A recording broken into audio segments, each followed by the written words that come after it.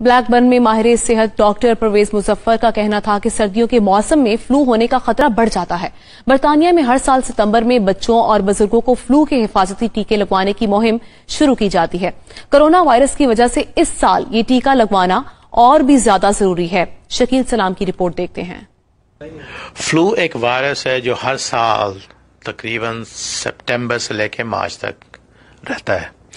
और इसके अंदर जैसा आपको पता है कि खांसी है, नाक का बहना है और सोर थ्रोट है सांस चढ़ना ये वगैरह होता है। अनफॉर्चुनेटली फ्लू से काफ़ी डेथ होती है। अक्सर जिन लोगों को सीओपीडी है या आसमा है या डायबिटीज़ है हार्ट का प्रॉब्लम है या हार्ट फेलियर है किडनी फेलियर है, उन लोगों को फ्लू के जो कॉम्प्लिकेशंस के चांसेस ज़्यादा हैं। इसलिए पूरी दुनिया के अंदर ये फ्लू के टीके लगाए जाते हैं। अब जो है फ्लू के जो है वो टीके नहीं बच्चों के लिए, वो नेजल स्प्रे है वो बच्चों के लिए, दो से दस साल के बच्चों को लगाया जाता है। और बाकी जो है उसके ऊपर जो 65 और जिनको जो प्रॉब्लम है किसी और चीज़ की अंडर 65 जो कॉम्प्लिकेशन जो हाई रिस्क हैं, उनको टीके लगाए जाते हैं। और ये टीके हर साल बदले जाते हैं। अकॉर्डिंग टू जो नया जो है फ्लू का वायरस आता है, उस हिसाब से। लेकिन इस साल फ्लू के टीके लगाने का तरीका जो मुख्तलिफ़ होएगा, क्योंकि जैसा कि आप जानते हैं कि पहले जो कोई भी अगर पेशेंट आता था सर्जरी के अंदर हम कहते थे फ्लू लगा लें, वो लगा सकते थे अपोजिनिस्टिक अब हम वो नहीं कर सकते हैं। अब यह है कि टाइम हर एक का एक वक्त है उस वक्त पे आना है टीका लगाना है एक तरफ़ से आना है दूसरी तरफ़ से चले जाना है।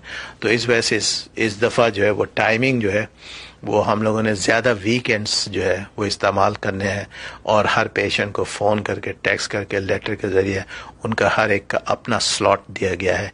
अगर आप वो स्लॉट मिस करेंगे तो अनफॉर्चुनेटली उस स्लॉट को दोबारा हासिल करने के लिए आपको तकरीबन महीने या छः वीक का टाइम चाहिए, क्योंकि डिमांड बहुत ज़्यादा है। बाज़ लोगों को ये होता है कि जब आप टीका देते हैं तो इसका रिएक्शन होना चाहिए।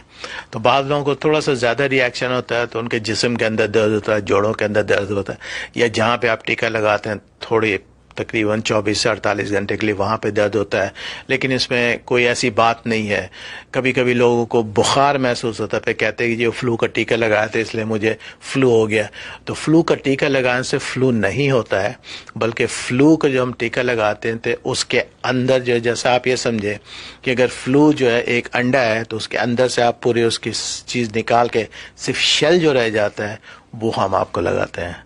तो इसलिए उसके फ्लू होने के उससे कोई चांसेस नहीं है कि आपको टीका लगे, आपको फ्लू हो जाए, बल्कि आपको प्रोटेक्ट करता है।